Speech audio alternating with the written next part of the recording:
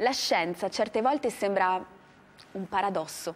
Basti pensare a una ricerca shock pubblicata pochi mesi fa sulla rivista Geophysical Research Letters. Cosa dice? Che l'aria pulita è pericolosa per la Terra. Sembra incredibile. Un team di scienziati provenienti da Europa e Stati Uniti ha scoperto che senza i gas inquinanti nell'atmosfera il problema del riscaldamento globale potrebbe aggravarsi. I ricercatori hanno modellizzato quattro scenari di cambiamento climatico se i solfuri e la fuliggine scomparissero dall'atmosfera e si è scoperto che queste sostanze inquinanti bloccano parte della radiazione solare che arriva sulla Terra e la loro eliminazione dall'aria farebbe aumentare la temperatura di 1,1 grado, favorendo così l'effetto serra e facendo crescere il numero di calamità naturali come siccità e alluvioni. Attenzione però! Ogni ricerca scientifica non va presa così com'è, va interpretata. Bisogna capire a cosa serve e a chi serve. E noi, parlando d'aria, possiamo consolarci così. Qua si campa d'aria e il sud è un paese bello assai. È un verso del cantastorie calabrese Otello Profazio che risale al lontano 1974. Eh, non aveva tutti i torti. Per certi versi si campa d'aria ma una ricerca scientifica di qualche tempo fa ha scoperto che in certi posti del meridione quest'aria è buona, buonissima, pulitissima. In Calabria, nel meraviglioso altopiano della Sila, con i suoi immensi boschi antichissimi, è stata individuata l'aria più pulita d'Europa. È addirittura più sana di quella della Norvegia e del Polo Nord.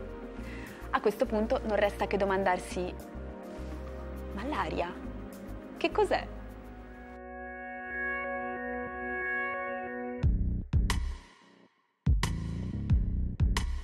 Adesso vi parlo di aria. Tutti pensiamo di sapere cosa sia, ma l'aria è più complessa di quanto si possa pensare. L'aria che respiriamo è costituita da un miscuglio di gas e di particelle solide e liquide. Se si prescinde dal vapore acqueo, dal pulviscolo atmosferico e da altri componenti variabili, il resto della composizione dell'aria è praticamente costante. L'azoto e l'ossigeno rispettivamente pari al 78% e al 21% in volume, sono i due componenti principali dell'atmosfera. L'azoto è un gas incolore, inodore ed inerte, in quanto non partecipa ai processi vitali, a differenza dell'ossigeno, che invece è necessario per la respirazione di tutti gli esseri viventi.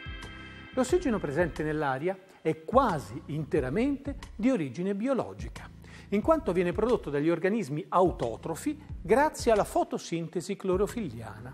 Il restante 1% è costituito per lo 0,93% da argon, un gas inerte, e per lo 0,03% da anidride carbonica, di origine naturale o generata dall'inquinamento umano.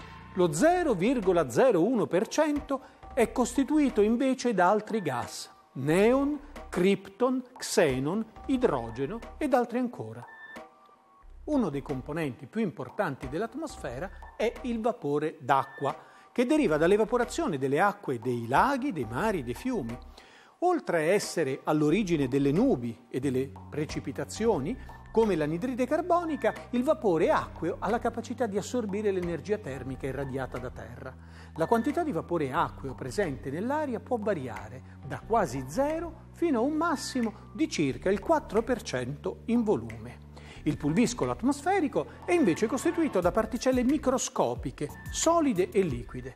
Il pulviscolo può essere di origine biologica, come pollini e spore, di origine geologica, ad esempio il particolato proveniente dalle eruzioni vulcaniche, di origine umana, come le polveri sottili prodotti dai gas di scarico delle automobili.